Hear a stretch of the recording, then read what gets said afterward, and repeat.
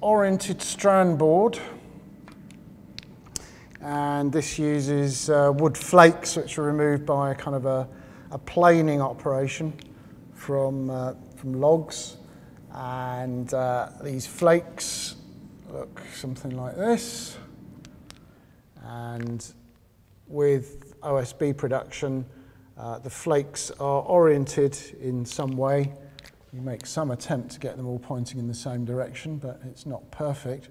So you end up with a sort of patterned effect, which for some reason that is completely beyond me, some people find decorative. Um, I just think it's a functional material myself. Um, and these layers of flakes are built up. Uh, we use phenol formaldehyde resin, which is sprayed onto the surface of the flakes.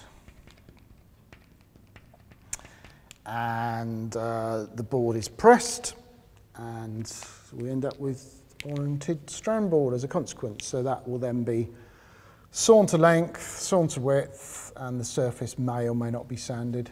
Um, it isn't necessarily a requirement because, as I say, this isn't really a product that uh, is designed to be aesthetically pleasing.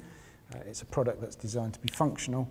Uh, but the good thing about this, one of the big advantages of phenol formaldehyde resin and the use in oriented strand board is that it does make it waterproof. Waterproof. So it can be used for exterior applications. It's relatively cheap. So you see a lot of this used to fill up holes in walls. Like if people have got broken windows, they'll put a bit of this in there. But it also can be used structurally. Um, there are on the market products which use uh, a wood element, top and bottom. And in between there is a piece of oriented board. These are called I-joists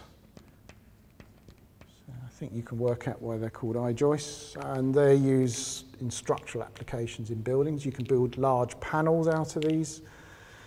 Um, OSB panels, by saying large panels, I mean you can build up what are called structural panels, and uh, they quite often come under the category of SIPs, structural insulated panels, in which case you have uh, two of these OSB panels, like that, and in between there you have a layer of insulation foam, which is usually polyurethane foam. So these are very light and they're very stiff and strong structures, so they have found a lot of use in construction. So um, OSB panels are very much used in construction applications.